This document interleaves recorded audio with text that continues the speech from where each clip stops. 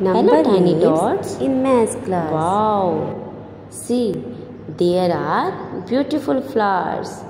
All flowers are looking very beautiful.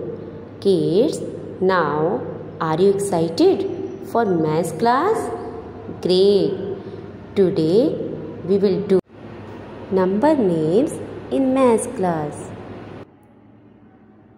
Kids, earlier we have done number name 11 and 12. Today we will learn new number name 13. Which number is this? 13. Very good. Now I will tell you how you will write down number name 13. Okay kids? First of all, you will make T H I R T double E N thirteen. Speak the spelling again. T H I R T double E N.